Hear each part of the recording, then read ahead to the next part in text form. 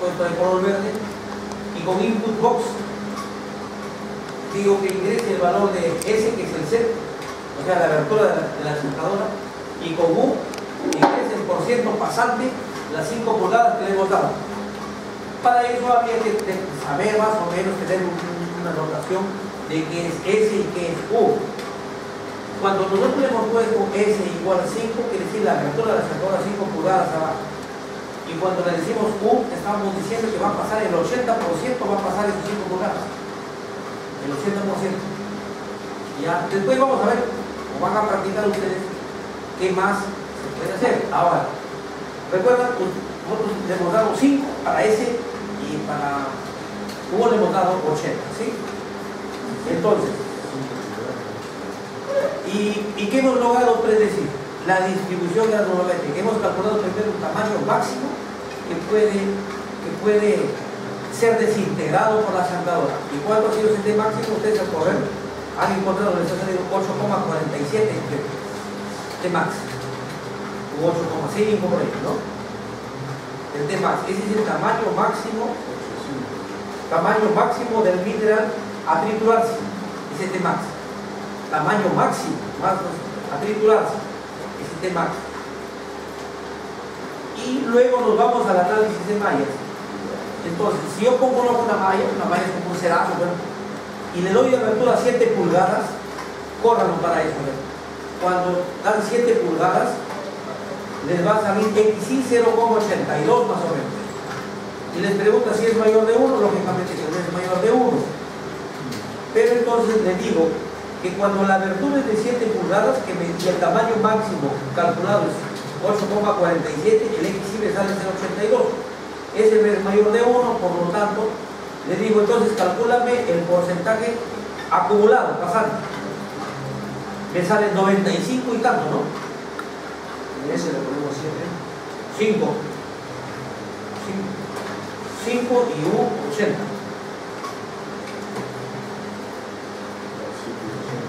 ¿Cierto? Y tu respuesta va a ser T máximo, repito, T máximo sale 8.40 y tanto, 7. Ese es el tamaño máximo del mineral a situarse. Ahora,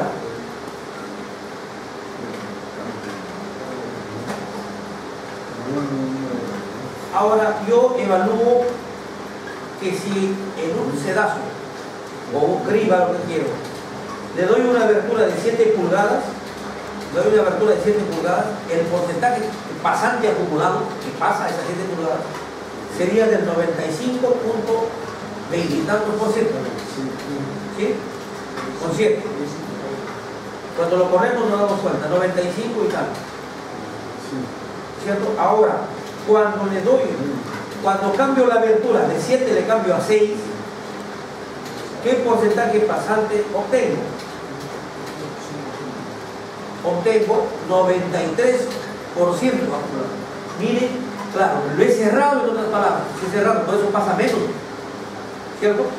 Menos se acumula. 6 es menor de 7, ¿cierto? Ya, y si yo sigo cerrando, ahora le pongo 5 pulgadas, le doy a 5 pulgadas, ¿cuánto va a ser mi pasante acumulado? Tiene que ser menos, porque está más cerradito, perdón. Le va a salir 90.50 y tantos, ¿no? Por.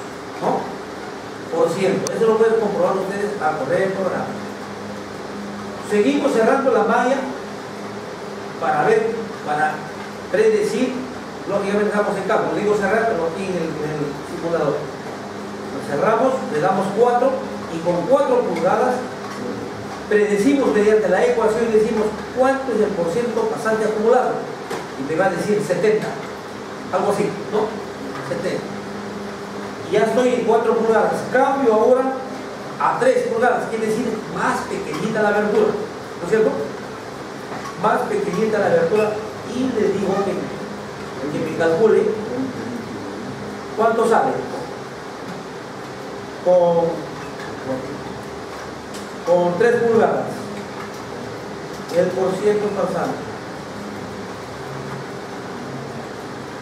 51 ya, 58, y tanto, ¿no?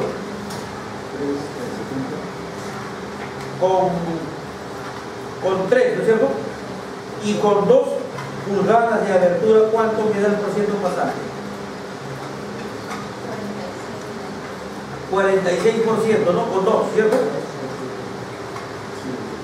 Y al último analizo con una pulgada pregunto cuánto es mil por ciento pasante.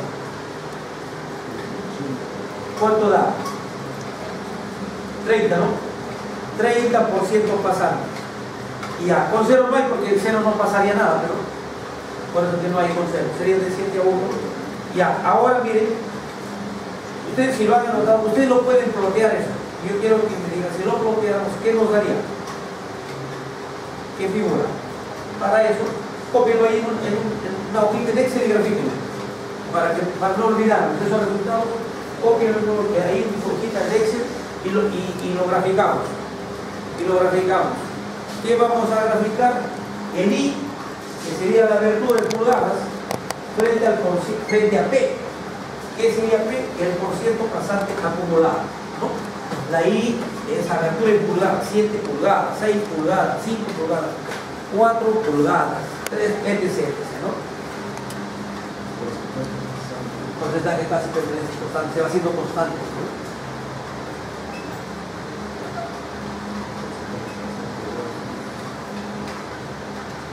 A ver, ¿cómo sería si le dan 85? Si le dan 85 y ese lo mantiene.